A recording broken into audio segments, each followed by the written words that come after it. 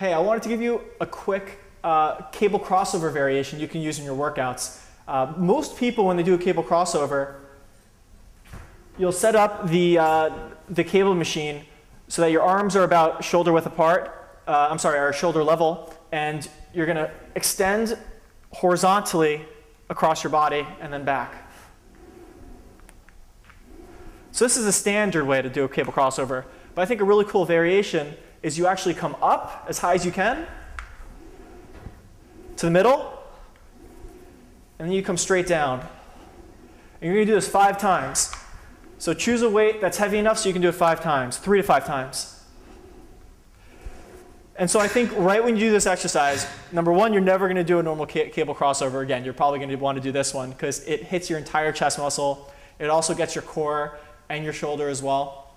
And there's one thing missing. If you know me by now, you know that I like to pair exercises together.